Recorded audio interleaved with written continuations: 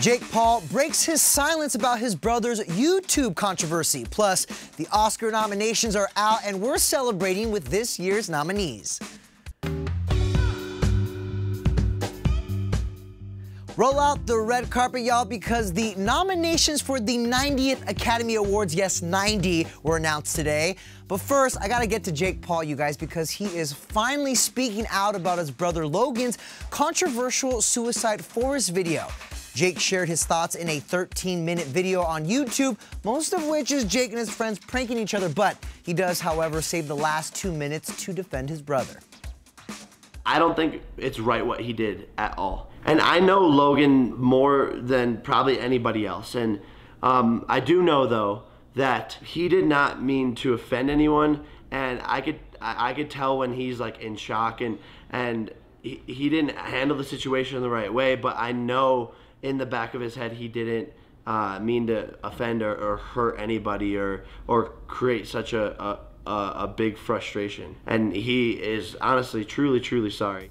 As I told you guys earlier this month, YouTube cut some ties with Logan and put his projects on hold in light of the whole situation. His brother Jake says that not only is Logan paying for the huge mistake he made, but he's learning from it too. Let me know your guys' thoughts in the comment section below. Will Logan bounce back? All right, we're gonna hard pivot here because it's a big day in Hollywood with this year's Oscar nominations. It's been a morning full of surprises, but none more epic than first-time nominee Allison Janney. E.T.'s Nichelle Turner went to celebrate with the I, Tonya star on the set of her show Mom, and it got out of hand, literally. So this is cool. Oh!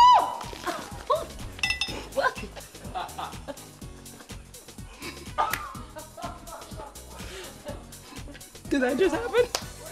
Did that just happen?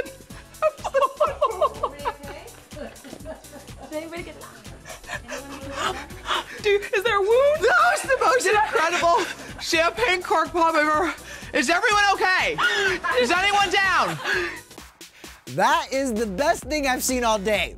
And you know what? Al Allison isn't the only one celebrating today. In fact, we all should be, because based on the nominations today, you can tell that the Academy really embraced outsiders this year.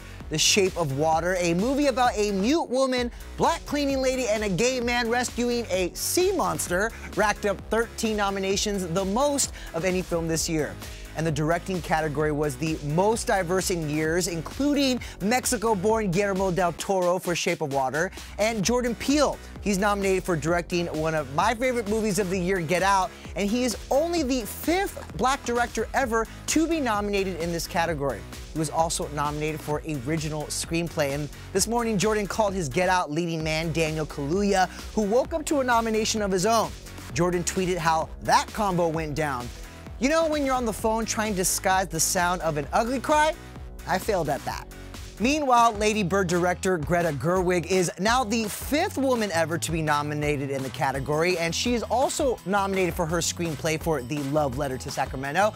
She told ET today in a statement, quote, I am struggling to find the words to express how much the nomination for Best Director and Best Screenplay means to me in a year where there are so many brilliant films by so many of my heroes of cinema.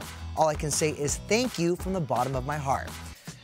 It was also a year of firsts. One name trending big this morning was Rachel Morrison. She's the first woman ever to be nominated for Best Cinematography for Mudbound, which is absolutely major. And her muse in that movie, Mary J. Blige, is a double nominee and the first to ever score nominations for both an acting and original song Oscar in the same year.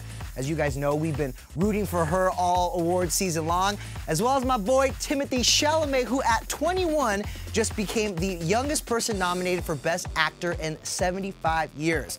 He told ET he's still in shock. And I say I called it. In case you guys missed it, go watch why we're obsessed with Timmy Chalamet right now. All right, as you can tell, I get excited for these things, and if you do too, well, the full list of nominees for the 90th Academy Awards is up on our site, etonline.com. And we also have more reactions from some of your nominees, so go check it out, and I'll see you guys tomorrow.